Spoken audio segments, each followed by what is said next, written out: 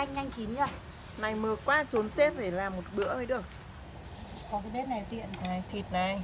Cái này nó tự động xoay. Ngân mua cái bếp này đâu đấy? em mua ở Vinmart đấy tiện Ngon ông nó không tiện. khói mà nó tách dầu nhá dầu nó chảy hết dưới này này. Xịn sò lắm. Cái này có cái chảo này nó không bị dính. Cái này có điều khiển điện tử à? Ừ, điện tử họ giới thiệu em là có cái loại chạy bằng cơ. Cả loại chạy điện tử thì nhìn cái này nó xịn sò đầu tư gấp một em. Tiện cái là nó không có khói mình dùng trong chung cư hay là các gia đình đều ok. Đi văn phòng mình ngồi này thoải mái này. Có phải nhiệt độ gì không? có. Đây này điều chỉnh nhiệt độ đây này. Mà cái chảo này nó quay này tất cả dầu nó đều rót xuống dưới. Ăn nó không bị béo rất là healthy nướng nó nhanh nhá rất là nhanh.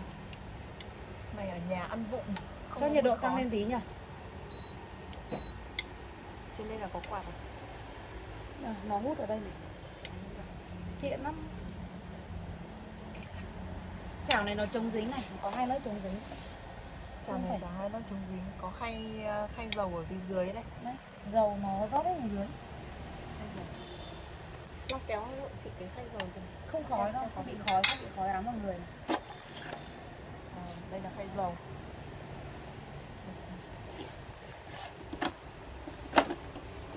Đợi tí xem tí miếng thịt nướng ra thế nào nhá